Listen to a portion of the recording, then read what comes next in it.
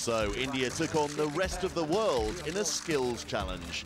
Gaganjeet Bhullar, Anirban Lahiri and Shiv Kapur represented the home side, while Peter Hanson, Richie Ramsay and David Gleeson the visitors.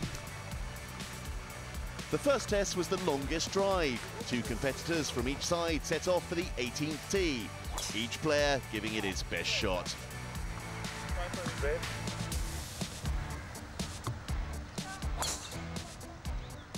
Precision was the key, but we had to wait for the best till last. It was Gaganjeet Bhullar, recent winner of the Venetian Macau Open, who took the honours with a 312-yard drive and first blood to India. Now back down the fairway for the pitching test. Nearest the pin from 120 yards out, it called for an accurate wedge. Bhullar, Gleeson and Kapur all had efforts land on the green. But it was Scotland's Richie Ramsay who took the point. Rest of the world level the scores after two events. The bunker test and Indian captain Shiv Kapur gave them the perfect start.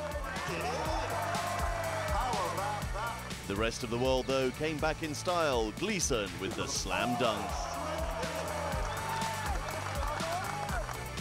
And it was left to the rest of the world, Captain Hanson, to deliver the winning blow. 2-1 to the visitors overall. A downhill part of 85 feet to test all the competitors. Shiv Kapur coming close with his first effort. Richie Ramsay, full of confidence from winning the pitching, proved that his putter was also on fire. Hello?